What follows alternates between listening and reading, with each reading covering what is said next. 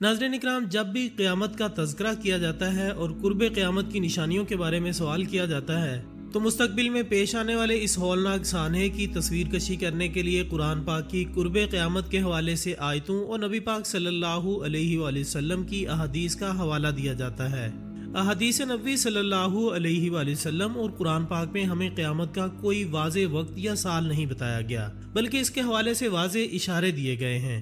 ताकि मुसलमान इस आने वाले होलनाक साने के लिए अपने आप को तैयार कर सकें। अगर आप हदीस नबी सल्लल्लाहु अलैहि वसल्लम और कुरान पाक की कुर्ब क़यामत के हवाले से आयात का मुताला करें तो ऐसा महसूस होता है कि जैसे सन 2000 के बाद आने वाले सालों में इन अहादीस नबी और कुरानी आयात में बताया गया कुर्ब क़्यामत का माहौल इस वक्त पैदा हो चुका है और आने वाले चंद सालों में शायद अल्लाह ताला के हुक्म से इस दुनिया के आखिरी साल साबित होने वाले हैं।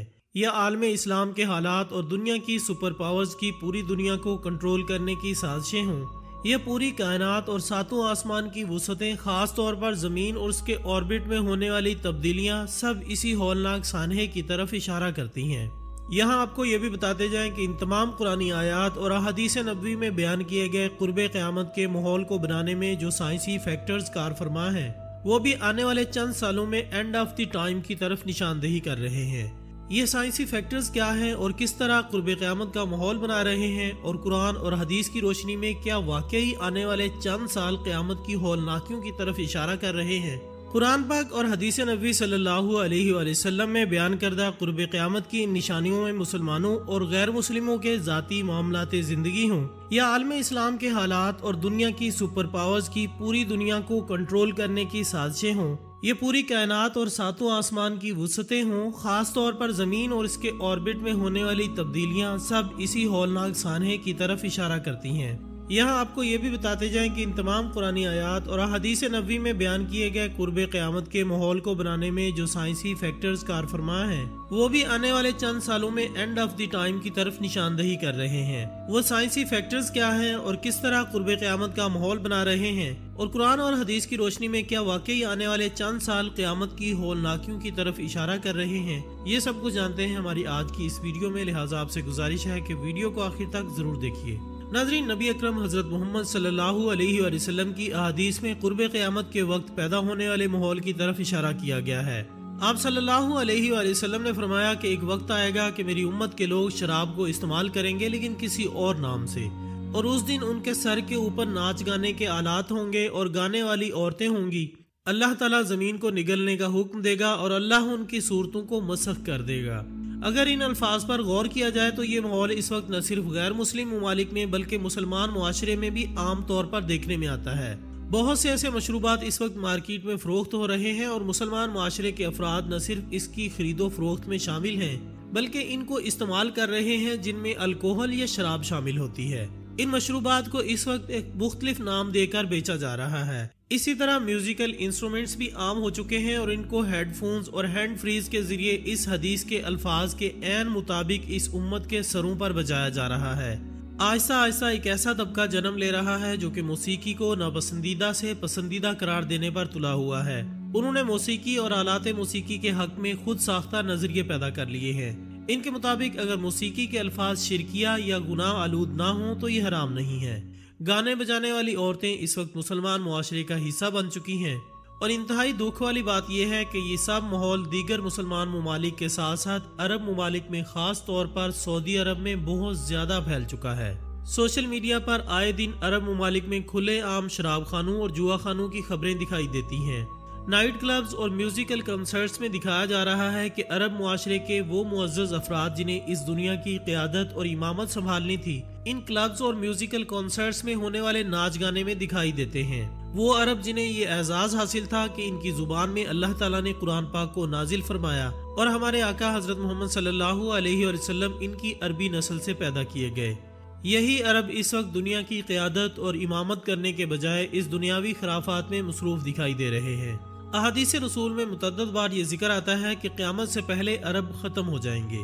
नबी पाक हज़रत मोहम्मद मुसफ़ा सल्लल्लाहु अलैहि वसल्लम एक दफ़ा जब कुर्ब क़्यामत के हवाले से निशानियों का ज़िक्र फरमा रहे थे और मुख्तलिफ़ अकवाम और ग्रोहों का उस वक्त तस्करा फरमा रहे थे तो उम्महातुल मोमिनीन में से एक ने अर्ज़ किया कि, या रसूलुल्लाह, उस वक्त अरब कहाँ होंगे?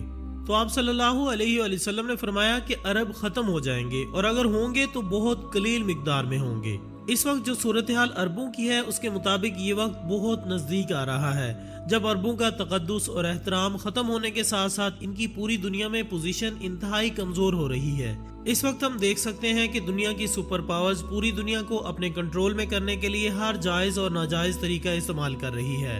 वो चाहे फलस्तीन की नस्ल कुशी हो या किसी इस्लामी ममालिक में फिरका वाराना फसादात हों या सऊदी अरब के साथ किए जाने वाले अजीबो गरीब मुआहदात हों, हर तरीके से मुसलमानों को जुल्म सितम का निशाना बनाया जा रहा है, बल्कि ज़िंदगी के हर शोबे में मुसलमानों को आगे बढ़ने से रोका जा रहा है, और यही वो माहौल है जो कि अहदीस नबी में कुर्ब क़्यामत का बयान किया गया है।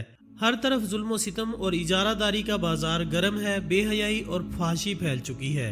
दोस्तों, हमें अहादीस से यही पता चलता है कि कुर्ब क़्यामत की यही निशानियाँ हैं, जब अल्लाह के हुक्म से ज़मीन को निगलने का हुक्म दिया जाएगा। जबकि साइंस इस बात को प्रूफ कर चुकी है कि एक वक्त ऐसा आएगा जब कायनात कशिश बाहमी की तरफ़ से सुकड़ाव का शिकार हो जाएगी और जो कहकशाएँ बाहर की जानब मुसलसल फैलती जा रही हैं, वो रुक जाएँगी और अपने मरकज की जानब अंदरूनी इंतहाम का शिकार हो जाएँगी और आपस में टकराकर मुकम्मल तौर पर ख़त्म हो जाएँगी। यहाँ आपको ये बताते जाएँ कि माहरीन अर्जियात के मुताबिक इस वक्त दुनिया में तकरीबन 1500 आतिशफिशां पहाड़ मौजूद हैं, जबकि 1600 आतिशफिशां पहाड़ जेर ज़मीन मौजूद हैं और इनमें आतिशफिशां मवाद तबाह कन हद तक बढ़ चुका है और आगे भी मुसलसल बढ़ता जा रहा है। यहाँ तक कि एक वक्त ऐसा आएगा जब ये आतिशफिशां पहाड़ एक धमाके के साथ फट जाएँगे और ज़मीन पर मौजूद हर चीज़ को अपने अंदर निगल लेंगे। ये पहाड़ इतनी जोरदार गरज और धमाके के साथ फटेंगे कि इनकी आवाज़ से लोगों के दिल दहल जाएँगे। ये धमाके इतने शदीद और खतरनाक होंगे कि ज़मीन अपना तवाजन खो देगी और पहाड़ रुई के गालों की तरह फिजा में बिखर जाएँगे, जिसके बाद बहुत ज़्यादा शिद्दत और तेज रफ्तारी के साथ जलजले आना शुरू हो जाएँगे और ज़मीन पर एक क्यामत बर्पा कर देंगे। क्यामत के एक मंजर को अल्लाह ताला ने सूरह तकवीर में यूँ बयान फरमाया है और जब सूरज लपेट कर बेनूर कर दिया जाएगा और सब सितारे अपनी कहकशाओं से गिर पड़ेंगे। इस कुरानी आयत की साइंटिफिक रिसर्च से ये साबित हुआ है कि कुर्ब क़्यामत तमाम सितारों की हाइड्रोजन और हीलियम सितारों की थर्मल न्यूक्लियाई आग में जलकर खत्म हो जाएगी और कोई भी नया सितारा पैदा नहीं होगा। इस सब के बाद कायनात, मुर्दा, सितारों, शहाबियों और कहकशाओं पर मुश्तमिल होगी। और हमारे निज़ाम शमसी का सबसे बड़ा स्यारा सूरज भी एक दिन बेनूर हो जाएगा और ख़त्म हो जाएगा। क्योंकि तहकीकात से ये साबित हो चुका है कि सूरज की रोशनी फैलाने की एक खास मुद्दत है जो कि अन करीब ख़त्म हो जाएगी। अल्लाह ताला एक और जगह कुरान मजीद फुरकान हमीद में इरशाद फरमाते हैं, जब सब आसमानी कुरे फट जाएँगे और सियारे गिरकर बिखर जाएँगे और जब समंदर और दरिया उबर कर बह जाएँगे।